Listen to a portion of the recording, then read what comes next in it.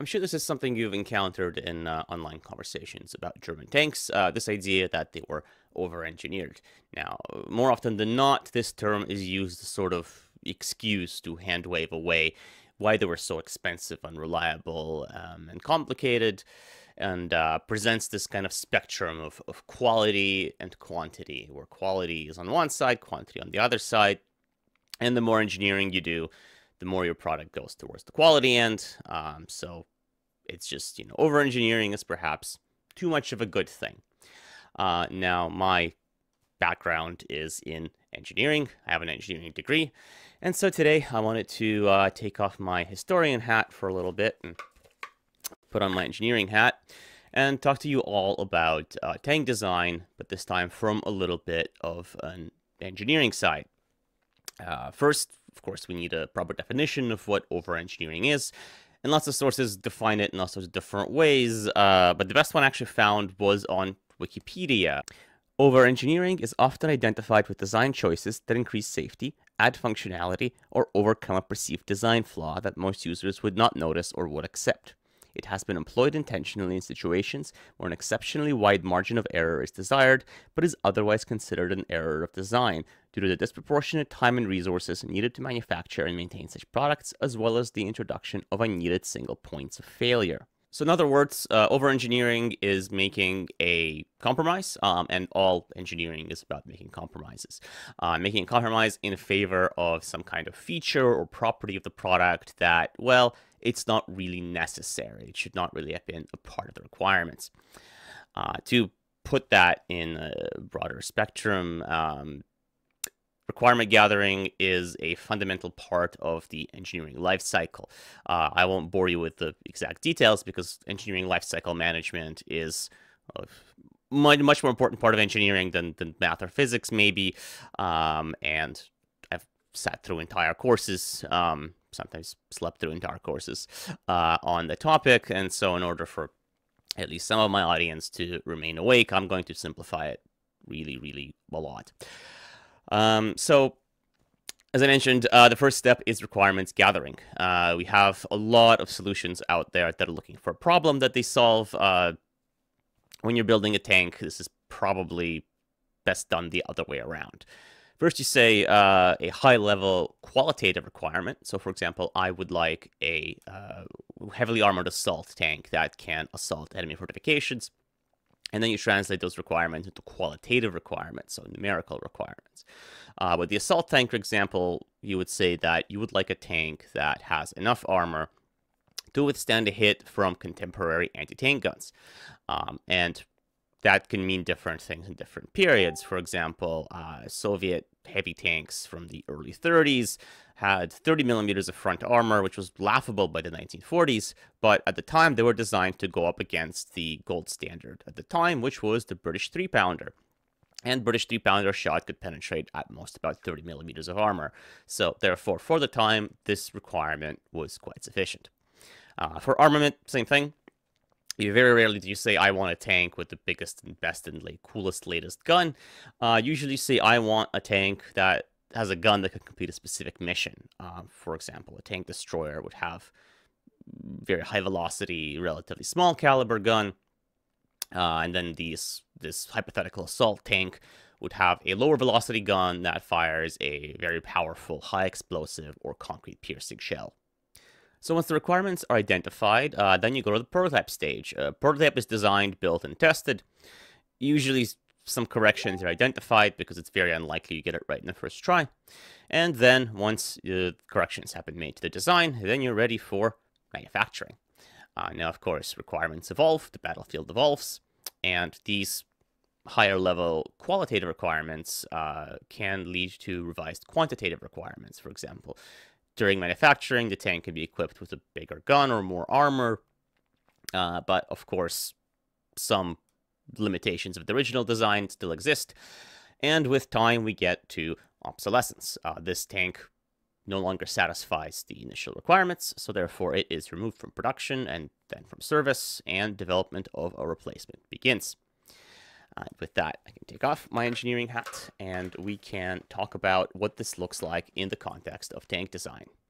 Now let's apply what we learned about the engineering life cycle to uh, an example that the British School of Tank Technology called an engineering achievement of the first magnitude, the T-34 tank.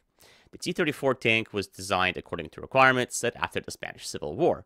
Uh, these were, it has to be fast, it has to be well protected um, against contemporary man-portable and uh, small cruiser anti-tank weapons that were becoming quite popular and quite lethal there around that time. Uh, and it had to have a powerful enough gun to fight both enemy tanks and light field fortifications, such as earthworks. Um, the A-20 and the A-32 tanks were developed to meet those requirements, and then the A-32 evolved into the A-34, which was accepted into service as the T-34. Now, uh, one of the major differences between the A32 and the A34 was armor. Uh, the A32's 500 horsepower V2 engine was actually too powerful for what the Red Army needed it to do, which is a form of over engineering. Um, and the extra margin created by this extra powerful engine was used to add more armor to the tank. So it uh, became protected not just from high caliber machine guns, but also from 37 and 45 millimeter anti-tank guns. To quote the British again, uh, this design shows a clear headed appreciation of the essentials of an effective tank and the requirements of war. Now, of course, the British reviewed a fairly early version the T 34, uh, and the tank after the one that they reviewed got a number of upgrades. Those included both upgrades to the firepower, the 85 millimeter gun, and various upgrades to the tank's protection, which I talk about in a different video. Uh, both of these, of course, made use of the extra margin of safety that was introduced in with the V2 engine. Um, and even though the T-34's weight went from 26 to 32 tons over the course of the Second World War, no substantial change to the design had to be made because it was over-engineered. As you can see, over-engineering is not really an impediment to making a tank in large numbers or making a high-quality, reliable tank. The American Sherman tank is also a pretty good example of how to rationally identify your requirements and build a design that matches them. Uh, it was largely made with components, tried and true automotive components uh, from the medium tank M3 uh, or even earlier predecessors. Uh, and it did inherit some weaknesses of the design, uh, like the tall profile, the narrow tracks, the HVSS or VVSS suspension that limited its overall weight. Um, and you might think that, well, the Sherman had all these drawbacks. they didn't really impact that badly its usefulness in the battlefield. Uh, could the Americans have built a better tank? Of course they could, and of course they did. Um, the T-23E3, for example, was a, a, a, much better tank by every measure than the Sherman, except for when it comes to actually mass producing it and bringing it to the battlefield. Uh, the Sherman as you've probably heard many times, was good enough, and that's really what engineering is about. It's striking balances until you get something that is good enough in every category. Uh, as one of my former managers told me, it's better to have a product everyone hates than an idea everyone loves. In this case, despite the flack that the Sherman caught, the T23E3 being the idea that everyone loves, just was not really practical for the Americans to switch production to. Now, despite being this kind of uh, level-headed balance of brand new solutions and tried and true parts, the Sherman still was built with tons and tons of room for expansion. For example, uh, the 75mm gun was serviced inside a 69-inch turret ring, which is absolutely ridiculous compared to, say, the Churchill tank, which had the same caliber of gun, serviced in just a 55-inch turret ring. So really, the Americans could have made their tank much smaller if they had shrunk the turret ring to match the gun.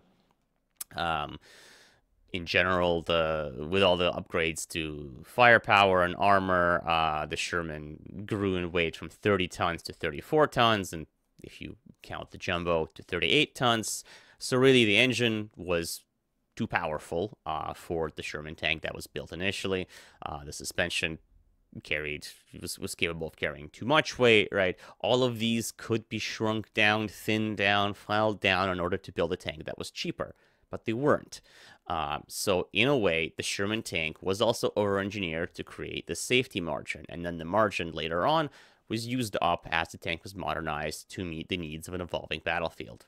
As you can see, the design of both the Sherman and the T-34 falls under the criteria of over-engineering. However, over-engineering in this case really didn't stop the Americans and the Soviets from building a tank cost effectively and building tons of them. So as you can see, over-engineering, based on this formal definition, is not inherently bad. But let's return to the Germans, uh, specifically the Tiger tank as a good example. The Tiger tank started pretty rationally with the identification of a need for an assault tank. Uh, this assault tank needed a short 75mm gun to fire a high explosive shell, and about 50 millimeters of front armor for reasonable resistance to contemporary anti-tank weapons. So far, so good. Uh, now, these needs changed between 1938 and 1941, and by 1941, the new German assault tank had to have an 88 millimeter gun, which required a new larger turret, and 100 millimeters of front armor, which of course required greater weight.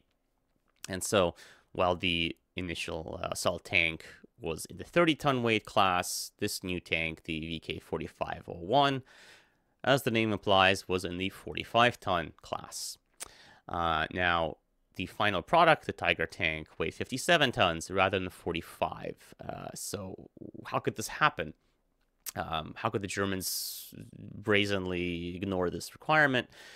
Well, unfortunately, when you take an existing design and just scale it up to fit more armor or a larger gun, individual components get heavier. And as components get heavier, they need components that can support the weight. Traditionally, the easiest way of doing that is by either thickening the supports or adding reinforcing ribs, which in turn adds more weight. And so the components holding those components have to get heavier. Uh, the floor plate has to now have bracing to prevent it from buckling. Uh, the tank has to be balanced, which usually in German practice meant adding a counterweight. Uh, now that your hull and turret are much heavier, the engine has to be scaled up. A bigger engine weighs more and also needs a bulkier cooling system, which weighs more. And all of this snowballs together to create a much larger vehicle than a much heavier vehicle than originally envisioned. Uh, now, is this unique to the Germans? No, but in especially Soviet practice, uh, weight was considered very, very important. And there's actually an inquiry in Factory 183 when the T 34 production tanks weighed only one ton more than the prototypes. Uh, the Red Army had quite a bit of leverage when it came to Soviet production. And so these increases were handled very, very seriously in the Soviet government. As British analysis of captured Tiger tanks shows, well, that might not have been the case of the Nazis. The tank bristles with every sort of complication, and one would think that it would be at least twice as difficult to produce as either of its predecessors. This may have a bearing on the number that are likely to be met with in the future and the degree of dilution by Mark IIIs and IVs.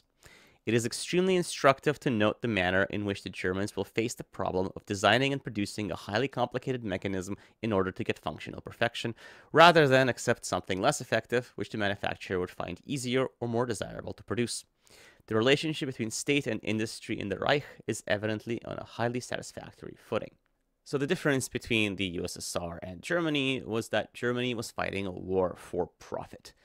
Uh, and this profit was to be had by these very powerful corporations, because of course, where there's lots of money, there's lots of power. Um, and the relationship between German industry and the German army was actually the reverse. It was the industry that had lots of influence on the kind of product that the army would consume, and not the other way around. And so, while the Soviets were arguing about every ton, German engineering companies and their subcontractors uh, had that kind of swing in the German government to justify increasing the weights, increasing the costs, and ultimately, well, as you can see, the weight of the Tiger tank grew by more than a quarter. In fact, the degree to which German manufacturers used German tanks to enrich themselves shocked the British, as evidenced by another report. In some respects, the Germans seem to have been victimized by their suppliers. For instance, Ball bearing manufacturers making turret ring races sound like a very extravagant proposition. The lavish use of ball and roller bearings throughout German AFV designs suggests the workings of a cartel. But let's go back to the previous British comment about functional perfection. Did the Tiger achieve functional perfection? Uh, maybe it was built without any kind of margin for error or improvement because it was perfect. Well, not really. In already in 1942, Hitler required the Tiger tank to be built with a longer, more powerful 88mm gun, the uh, Kampfwagenkanone 43. Uh, now, of course, as you probably know, this was not possible to fit in the Tiger's existing turret. The new turret had to be built, which combined with a number of other changes and requirements resulted in a completely different tank, the Tiger Ausf B or Tiger II, which was only fielded in 1944. Unlike the T-34 or the Sherman tank, the Tiger was built without any reserves, without any margins. It was not over-engineered. It was built precisely to work at the weights, the functionality that it was designed with. Uh, and when it came time to increase its firepower or its armor, nothing could be done. Uh, the changes to the Tiger tank throughout the course of its production really weren't major, uh, and it was impossible to make significant upgrades without shifting to a whole new chassis. When it comes to the iteration stage of the engineering design cycle, the Tiger was quite a colossal failure. But remember the other aspect of over engineering adding functionality. Uh, you can add functionality, it's still over engineering if it was something that was not really desirable or could be dealt without. Um, the uh, Tiger's uh, snorkel system, of course, comes um, comes up in that discussion, but that's not really the core thing that Tiger had to contribute to the battlefield. Uh, that would be its its armor and its firepower. So maybe there was no way to build a heavy tank with 100 millimeters of armor and an 88 millimeter gun, other than making it a 57 ton monster. Well, as future developments showed, that's not entirely the case. Uh, the Pershing tank weighed just about 42 tons. Uh, it had comparable armor to the Tiger and a comparable gun. And the IS-2 tank at uh, 45 tons had a more powerful gun and thicker armor. So really, the 57-ton weight of the Tiger tank doesn't have any kind of feature that would justify it. It was just tremendously overweight for what it offered. So as you can see by the formal definition, uh, the term over-engineering doesn't really apply to tanks like the Tiger. Uh, it didn't really have any kind of built-in margins or any kind of extra features uh, that justified its incredible weight, complexity, and cost. Uh, really, when you think about it, the Tiger wasn't over-engineered, it was just engineered badly.